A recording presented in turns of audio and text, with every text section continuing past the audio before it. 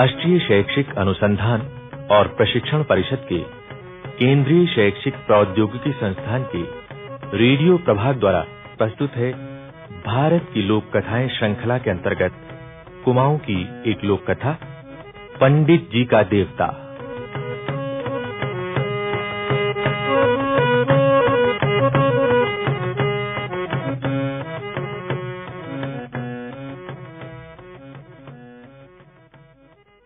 बहुत पुरानी बात है बड़कोट गांव में एक पंडित जी रहते थे पंडित जी अपने जजमानों के घर जाकर पूजा पाठ करवाते और भेंट में मिला सामान पोटली में बांधकर लौट आते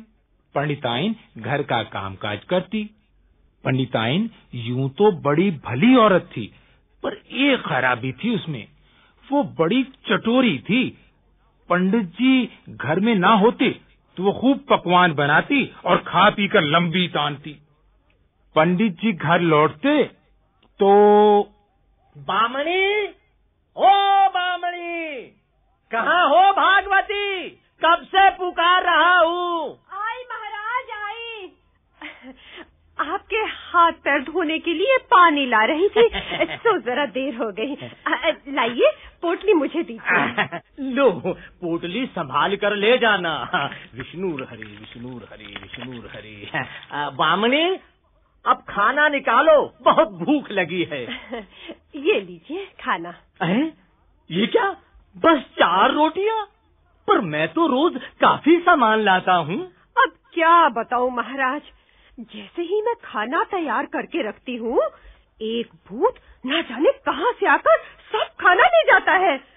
बस चार रोटियां जो मैं छुपा कर रखती हूँ रह जाती हैं। यानी इसके अलावा तुम्हारे लिए भी कुछ नहीं है नहीं महाराज अच्छा तो हम दोनों तो दो रोटी खा लेंगे क्या करें जैसे हरि की इच्छा रोज यही होता पंडित जी बेचारे दो रोटी खाकर संतोष कर लेते धीरे धीरे पंडित जी का शरीर कमजोर होने लगा उधर पंडताइन थी क्यों उन पर कोई अंतर ही नहीं पड़ रहा था आखिर पड़ता भी क्यों वो तमाम पकवान तो खाती ही थी ऊपर से पंडित जी के साथ दो रोटियां भी खाती थी काफी दिन ऐसे ही चलता रहा फिर पंडित जी को शक होने लगा वो सोचने लगे अरे मैं तो घर में दो रोटियों के अलावा जजमानों के यहाँ भी कुछ फल फूल खाता हूँ फिर भी कमजोर होता जा रहा हूँ बामणी अरे बामणी तो दो ही रोटियाँ खाती है मगर उसका स्वास्थ्य दिन पर दिन अच्छा होता जा रहा आ अच्छा आज छुप कर देखूं ये रहस्य क्या है बामणी बामणी मैं जा रहा हूँ शाम तक लौटूंगा अच्छा महाराज जल्दी आना हाँ ये ये जगह ठीक है यही छुप जाता हूँ इस अंधेरे कोने में यहाँ से सारा घर दिखाई देता है और मुझ पर किसी की नजर भी नहीं पड़ेगी है बस यही ठीक है पंडित जी तो गए अब अपनी राम रसोई शुरू करती हूँ आज क्या क्या पकाऊं आज हाँ हलवा ढेरों मेवे डालकर और पूरी आलू की कचौड़ी रायता की सब्जी और और इमली की मीठी चटनी हाँ, बस मजा आ जाएगा आ, अरे हाँ पंडित जी के नाम की चार रोटियां तो भूली ही जा रही थी तो ये चार रोटियां पंडित जी की और बामनी की अरे वही दो पंडित जी की और दो बामनी की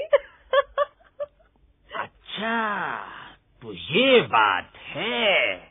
खुद तरमाल उड़ाए जाते हैं और मुझ बेचारे को दो सूखी रोटियां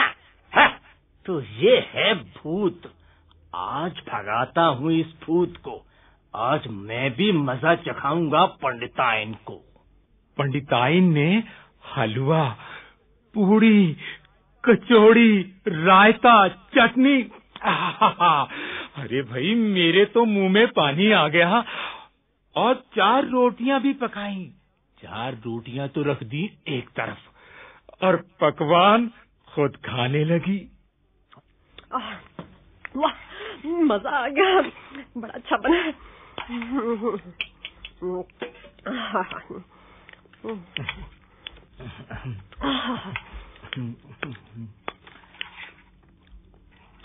बड़ा अच्छा बना हाय हाय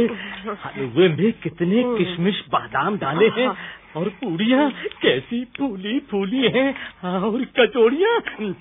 हाँ, क्या खुशबू है सब खत्म एक कण भी नहीं बचा अब अब जल्दी से रसोई साफ कर दूं पंडित जी आते ही होंगे आता हूँ आता हूँ और तेजी करने का मजा चखाता हूँ बेचारे पंडित जी उन्हें कितना गुस्सा आ रहा है सुने पंडित जी अब क्या करते हैं एकदम चुप बामणी अरे ओ बामणी कहाँ हो थक गया आज तो आई महाराज अरे आज तो आप बहुत जल्दी लौट आए सब ठीक तो है ठीक नहीं है बामणी शरीर अजीब सा लग रहा है लगता है आज मेरे शरीर में देवता प्रकट होंगे तो कैसे महाराज अरे पंडिताइन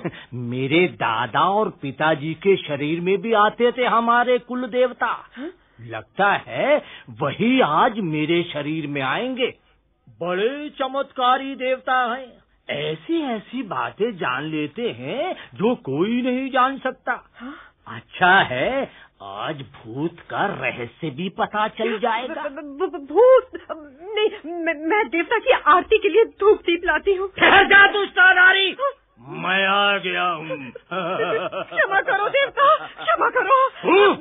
तू पंडित जी को धोखा देती है हाँ। नित पकवान पकाती है खुद उनको खा जाती है और भूत का नाम लगाती है क्षमा करो देवता क्षमा घर बैठी मौज उड़ाती है पंडित को तू बहकाती है बोल तुझे क्या दंड दिया जाए क्षमा करो देवता हम मनुष्य हैं ना समझ है तुम देवता हो हमें क्षमा करो बोल तुझे भस्म कर दूंगा नहीं महाराज जी ऐसा ना करना बोल अब ऐसा करेगी पता नहीं है तुझको तू इस पाप का भारी दंड भरेगी नहीं महाराज अब से मैं पंडित जी को खाना खिलाए बिना पानी तक नहीं पीऊंगी माँ की कसम बाप की कसम गाय की कसम अब ऐसी गलती नहीं करूंगी क्षमा करे देवता क्रोध त्याग दे जा तुझे क्षमा करते हैं खबरदार हाँ। और से ऐसी गलती दोबारा ना करना नहीं तो तुझे भस्म कर हाँ, देंगे नहीं रेता हाँ, आप ऐसी गलती नहीं नहीं होगी हाँ, आप शांत होकर जाइए अच्छा ये बात है हम जाते हैं पर याद रखना नहीं नहीं देवता आप शांत होकर प्रस्थान करें अरे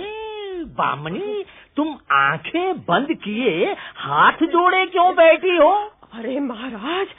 आपके शरीर में तो बड़ा चमत्कारी देवता आया जिसने मुझे सही रास्ता दिखाया तो तुम्हारा भूत भागा कि नहीं बिल्कुल भाग गया महाराज देवता ने उसे छुटकारा ही दिला दिया तो ठीक है अब खाना खिलाओ लाओ वो चार रोटियां दो हमारी दो तुम्हारी अरे महाराज और खाना पकाती हूँ बस अभी आई सुना तुमने दोस्तों पंडित जी के देवता ने पंडताइन का भूत कैसे भगाया खैर भूत और देवता दोनों से छुटकारा पाकर आशा है पंडित जी और पंडिताइन सदा सुख से रहे होंगे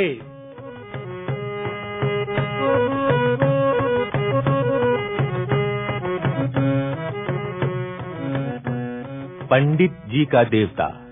अभी आप सुन रहे थे कुमाऊं की ये लोक कथा इसका नाट्य रूपांतर किया मधु जोशी ने भाग लेने वाले कलाकार सतीश महाजन कीमती आनंद और विजया राजदा ध्वनियांकन दीपक पांडे निर्माण सहयोग वंदना निगम निर्माण एवं प्रस्तुति प्रभुदयाल खट्टर तथा परियोजना निर्देशन डॉक्टर एल जी सुमित्रा